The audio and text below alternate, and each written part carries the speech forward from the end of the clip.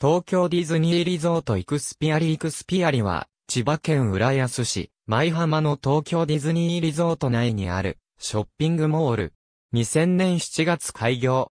TDR の正式な構成施設の一つであるが、ディズニーのライセンスによる、ディズニーブランドではなく、オリエンタルランドが独自に企画、所有し、同社子会社の株式会社イクスピアリが経営、運営する。キャッチフレーズは、物語とエンターテインメントに溢れる街。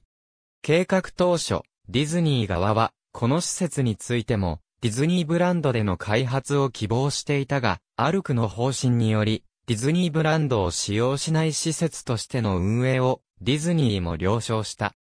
このため、イクスピアリ内には原則として、ディズニーのキャラクターは登場せず、キャストは、ディズニー関連のキャラクターグッズアクセサリーを身につけることが禁止されているなど、非ディズニーエリアである。ただし、ディズニーストア、東京ディズニーリゾート店、シネマエクスピアリはその限りでない。それでも TDR の正式な構成施設であり、イクスピアリのロゴにも AT 東京ディズニーリゾートの一文がある。イクスピアリという言葉は体験を意味する英語 experience とペルシア神話に登場する優しく善なる妖精ピアリから作られた造語である。毎年元日深夜0時に日本で一番早いと称する福袋を販売する。チビール、ハーベストムーンを醸造、販売している。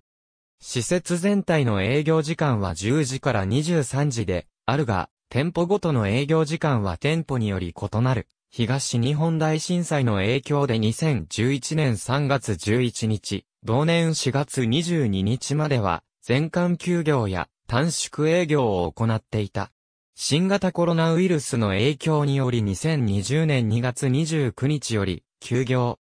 舞浜マーメイドシカは同年3月16日から診療再開、成城石井、メディプラスは同年4月13日より営業再開する。一部休業店舗があるものの同年6月1日より営業時間を短縮し全館再開となった。2021年5月現在の営業時間は10時に10時で、ある。施設内は、それぞれのテーマに合わせた以下の9つのゾーンに分かれる。イクスピアリには、ラジオのサテライトスタジオ、スタジオイクスピアリがある。主にベーフムが使用していたが、別の用途に使用されたこともあった。2019年3月をもって閉鎖していて、イクスピアリのサイトのガイドマップからも削除されている。ありがとうございます。